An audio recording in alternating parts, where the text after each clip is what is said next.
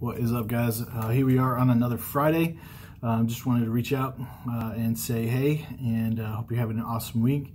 Um, been great hearing from you guys and seeing some of your posts and things this week, so keep it up. Um, want to share a little bit out of God's word with you today. Um, found in Second Corinthians chapter 7, verse 10, it says, For godly grief produces a repentance that leads to salvation without regret. So in the past few weeks, you've heard me uh, mention the word repentance um, pretty frequently, um, as I believe that it's uh, should be a daily, routinely part of our daily life. And uh, I just thought, well, I hadn't really described what that looks like or said why. Um, so I wanted to um, just talk a little bit about that today. I think sometimes we get into the idea, the idea in our head that maybe repentance is kind of like this one-time thing that we do at the point of salvation because it is a part of salvation but then we don't really ever make it um, another part of a part of our daily life, or we you know ever really visit the idea of repentance again. Um, the the reality is is that you're never really going to ever be done with repentance. Um, and and while that it, it's something that should be done frequently, it should never be something that we just get used to. Um, repentance requires us to be intentional every day, and if we're honest, I think we probably have more of repent uh, more to repent of at the end of the day than we could ever really remember. And so I think the idea, you know, sometimes is like, okay, well, where do I even begin? Where do I even start with repentance? Like, I sin all the time. Um, so, uh, you know, how do I remember all that stuff? But it's not. It's not so much remembering detail after detail, although repentance with detail and prayer with detail is is definitely good and it's definitely important. Repentance is both an attitude and an action. It's more than just being sorry for your sins or just trying to eliminate a bad habit. Repentance is essentially um, seeing this terrible disaster that is sin um, and then pulling away from it. Um, it's we talked about this when we talked about hating evil or hating sin about like the this idea that, that sin should make you kind of pull back it should make you recoil um, but sometimes our sin becomes so comfortable, it becomes so familiar to us that we hardly really ever even bat an eye at it. And because it's, it's comfortable and familiar in our own lives, when we see it in the lives of other people, um, it doesn't it doesn't cause any kind of concern either. Um, pulling away from sin will only come when we realize how holy God is, and in in our pursuit of Him, um, we also pursue holiness as well. Um, and we desire to be holy because we desire Him. And see, until we understand our sin, um, all of it, like that, that all of our sin essentially is, uh, like Romans 5 talks about, uh, is this kind of rebellion against God, that we're enemies, that we're powerless, that we're weak, that we're uh, in need of a Savior. But uh, until we realize that all of our sin is basically the self-destructive rebellion against God that opposes our purpose as Christians and His purpose for our life, um, that uh, it not only opposes our, our purpose, but it also denies him, denies God um, his worthiness, his worthiness of praise, his worthiness of glory, his worthiness of admiration, then we're never going to pull away from sin unless we realize those things. But see, repentance isn't just pulling away from sin. It's also purposing our, in our heart to walk in righteousness by finding our meaning and finding our um, identity and finding our purpose in God. It's dying to self daily. It's denial of self daily. It's walking in newness of life with God. And like I said, the Christian life isn't particularly, and particularly repentance, isn't just about eliminating bad behavior. It's about seeking after God and pursuing Him and resolving to live um, your life for the glory of God and not for the glory of self.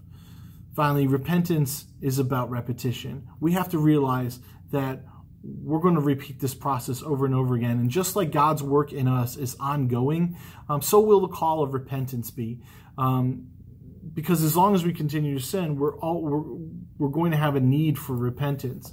You know, and the reality is is that if if repentance isn't really an ongoing thing in your life, it's not um, you know something that, that happens pretty frequently in your life probably means that um, you've probably chosen to deal with uh, some of your sins, um, and then you've probably spent a great time just ignoring the others. um, this will this will likely lead to a self uh, a sense of self pride or uh, confidence or self reliance that somehow maybe you've arrived or that you've overcome all your sins, when in reality, you've only become religious on the outside and are no longer keeping your heart, just like we talked about the last time. See, remember these two things. If you find out, if you find that the God that you serve agrees with everything that you're doing, like you don't feel this sense or need to repent in your life ever, then the God that you serve is probably you. So, you know, that's that's not really a good thing. And remember also, secondly, that no one will lie to you like you will lie to you. Um, so allow God's word to examine you. Allow God's word to expose you, and don't let pride and dishonest and dishonesty disillusion you and give you a false sense of who you really are. I talked about that Sunday in my message. Um, repentance in your life uh, that is deep and consistent will have a tremendous impact on your faith and in your confidence. Not because you repent so well and you become like this great Christian, but because in repenting consistently and, and having repentance as a part of your daily walk, you will um, begin to know and realize the darkness and the trouble of your own sin that, that exists in your own hearts and your dependence on Jesus Christ and the great work that He's done to overcome that sin in your life. Plus, let's be honest. The great part of repent, probably one of the greatest things about repentance, other than it brings you back to God and right, right standing with God, is the fact that the best kind of people to be around are the people that know that they need God are the people that know that they need grace. The best kind of people to be around are the people that know that they need forgiveness. And if repentance is a daily part of your life, then you're going to know that you need grace and you're going to know that you need forgiveness. And you're going to be much more likely to give grace and forgiveness to those around you, which means you'll be the kind of person that people will want to be around. You'll be the kind of person that I want to be around. All right, so here's the challenge for today. You guys know that I love um, pretty heavy, heavy metal music. Um, you guys know the band for today. Um, they, they do our intro song when we do on Wednesday nights, um, and they're one of my favorite bands. Um, so they sing a song called Emmanuel, the Challenger, um, and the lyrics, it's like a 40 second song, and the lyrics are literally repent or perish, right? Um, and sometimes we kind of grin or you know snicker at that at the simplicity of that, but in reality, if you think about it, it's so simple, but yet so true. Turn away from your sin, turn away from your sin, repent, do all the things that I just talked about, right? or perish. Self destruct. Destruction is your path. Continue along the line of sin, continue along the, uh, the line of uh, the, the path of sin, and you will perish. You will self destruct. You will, I mean, sin is never, we've talked about this before, sin is never constructive, it's always destructive. So, um, here's what I want you to do. I want you to get a piece of paper or in your prayer journal or something like that. I want you to make like a little poster or a sign or something like that. It can be big or small, it doesn't matter. But uh, and I want you to put it somewhere where you'll see it. Somewhere probably close to where it says God is good and in control, right? Um, that other poster that we made.